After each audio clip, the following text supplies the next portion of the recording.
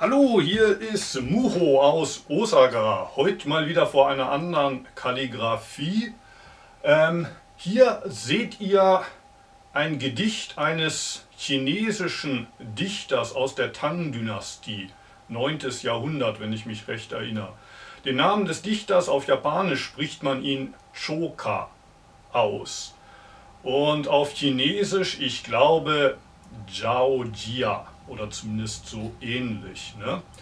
Ähm, könnte sein, dass es viele von euch nicht besonders interessiert, aber ich möchte auch, euch auch gerne bei der Gelegenheit erklären, was hier überhaupt steht. Ne?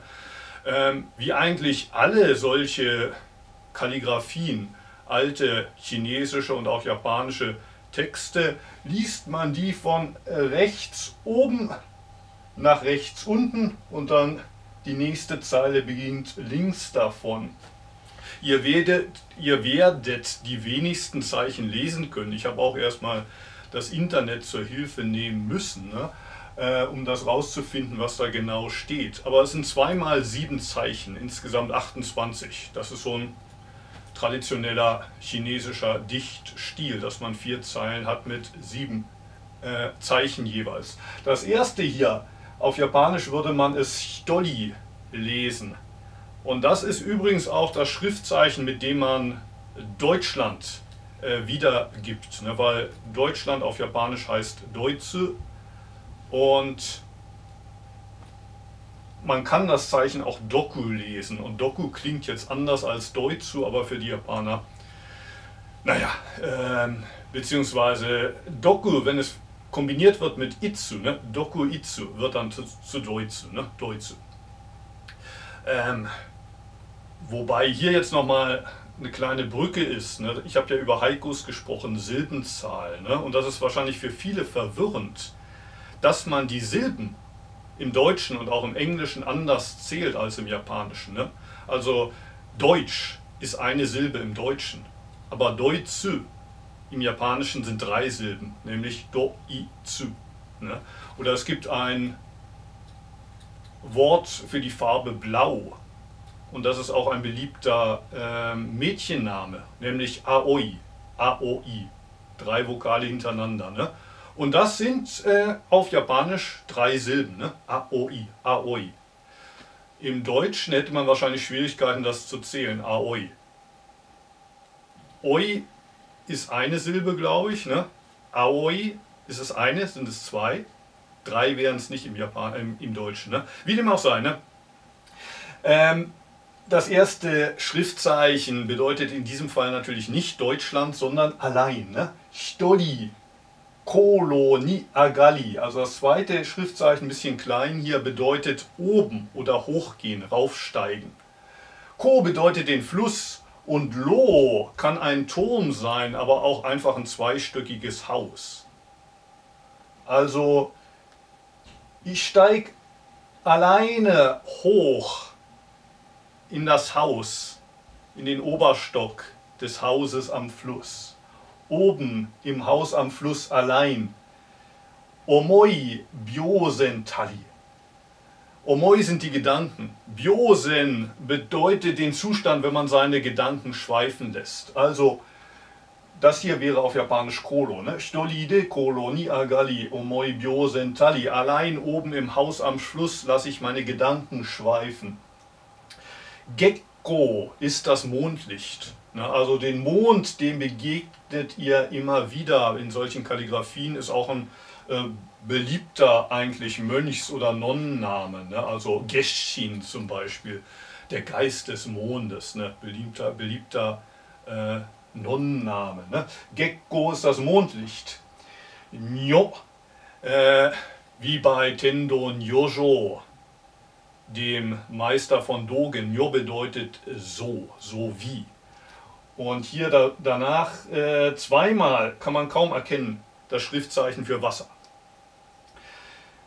Das Mondlicht, so wie das Wasser.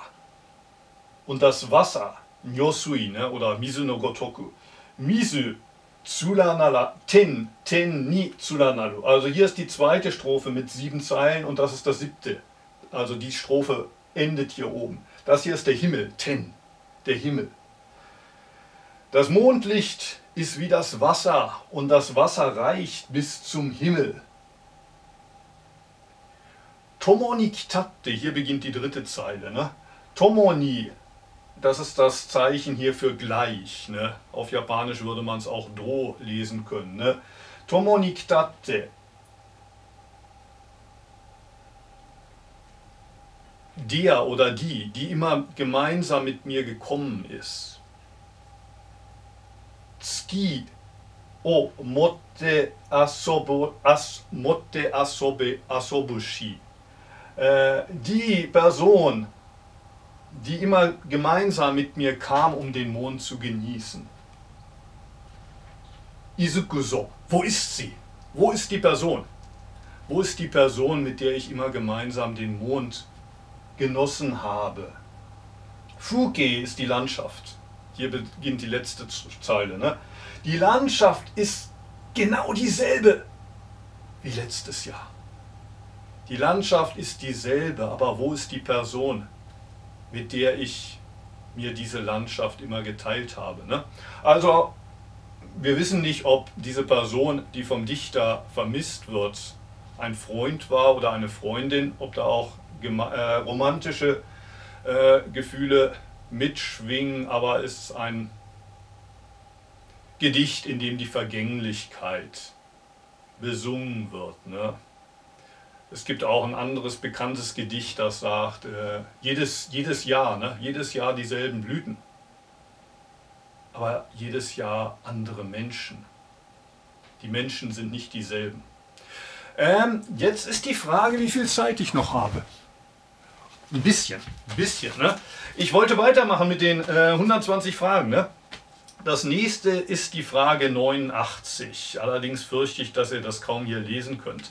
Bei den nächsten paar Fragen habe ich mir wieder großzügig gesprochen Freiheiten erlaubt. Weniger großzügig gesagt, äh, ich habe da einiges falsch übersetzt vor 20 Jahren. Ne?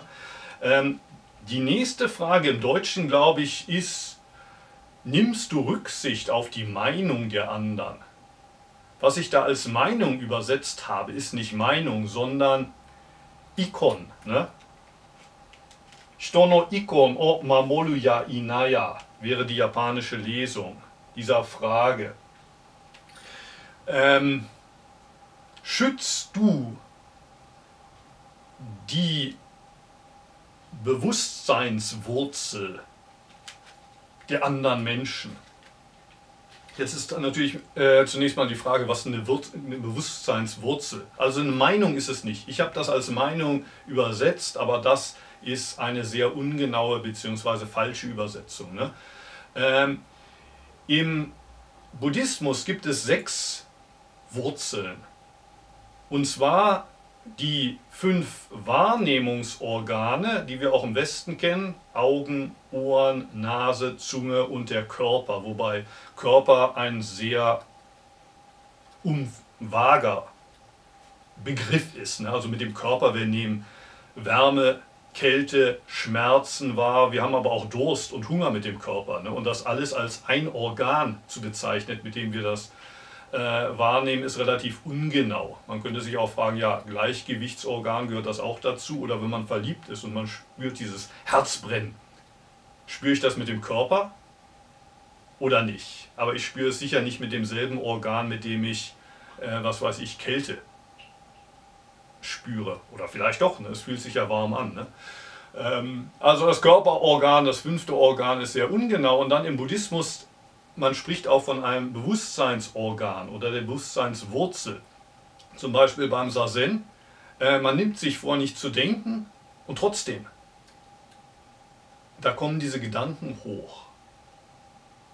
Und ein Buddhist würde sagen, ja, du nimmst diese Gedanken, die da hochkommen, wahr mit deinem Bewusstseinsorgan, so wie das Augen Farben sieht und so wie dein Ohr Klänge vernimmt, dein Bewusstseinsorgan nimmt Gedanken wahr, sozusagen. Ne?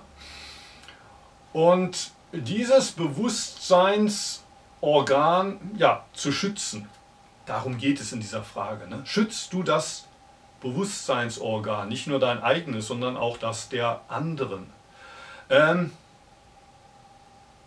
jetzt ist es aber wirklich langsam Zeit, ähm, zum Ende zu kommen.